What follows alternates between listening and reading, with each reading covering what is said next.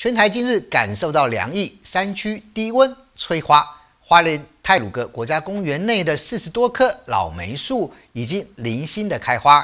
泰鲁阁国家公园管理处在脸书是分享了花讯，虽然目前只有几朵，但预估会陆续的绽放，到月中花况会更好。欢迎民众届时上山来赏花。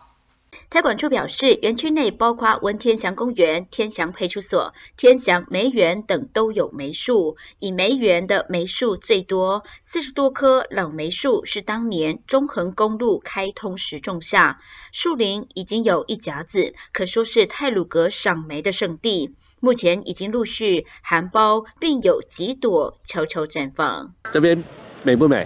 这很漂亮啊，很漂亮。每年都要来看，结果都看不到，今年总算看到了。梅花越冷越开花，气温越低，花况会越好。太管处估计，只要不受暴雨侵袭，月中后花况应该会更好，可以持续到下个月初。民众可以在顺花期上山，将车辆停放在天祥停车场，惬意步行赏花。记者林杰、秀丽香采访报道。